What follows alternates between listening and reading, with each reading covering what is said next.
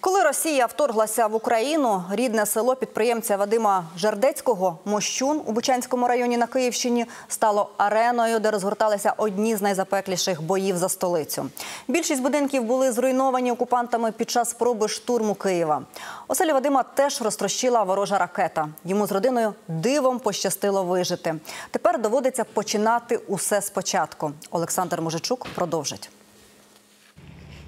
До війни в плани підприємця з Мощина Вадима Жардецького не входило жити над власною крамницею, яка вигідно розташовувалася на перехресті при в'їзді у населений пункт. Ці приміщення на другому поверсі мали стати готелем. Однак все змінила війна.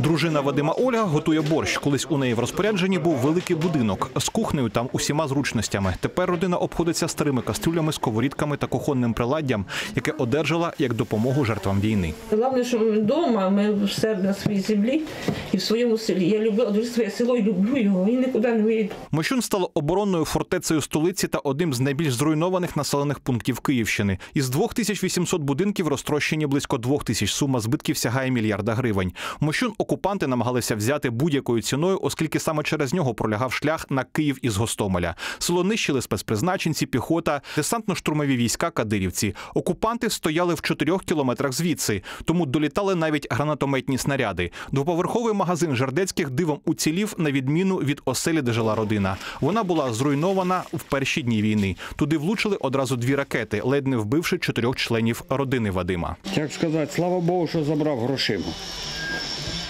А ми живі, здорові. Під час активних бойових дій в магазині Жердецького були запаси продуктів і медикаментів для місцевого населення і захисників. Тут ховалися від обстрілів майже 300 цивільних. У Мощуні на той час вже ніщо не функціонувало. Все помінялося. Життя помінялося, цінності помінялися. Вже будинок на великий, той не потрібен буде. Не знаю, і не знаємо, де будуть жити діти, внуки, як воно буде. 51-річний Вадим корінний житель Мощуна. В селі прожили сім поколінь його родини. Під час будівництва він проєктував оселю так, щоб там могли вільно кататися на самокатах онуки. Від неї залишилися голі стіни. У нього все ще збереглися ключі. Він досі зачиняє двері. Стоячи серед цих уламків, Вадим згадує, що колись жив мріями і планував майбутнє. Вложили багато фінансово. Ну, коли ти витягуєш внучку, виносиш, то це Як пише Associated Press, посилаючись на місцеву владу, на Київщині в рідні села повернулося близько мільйона людей, що становить половину від кількості тих, хто виїхав з області. Багато хто втратив роботу, не може дозволити собі полагодити будинки. Вадим і сам нині заробляє у десятеро менше ніж до вторгнення, і каже: тепер мова йде не про відбудову, хоча б вистачило на теплий одяг перед зимою. Олександр Мужичук, програма Вікна СТБ.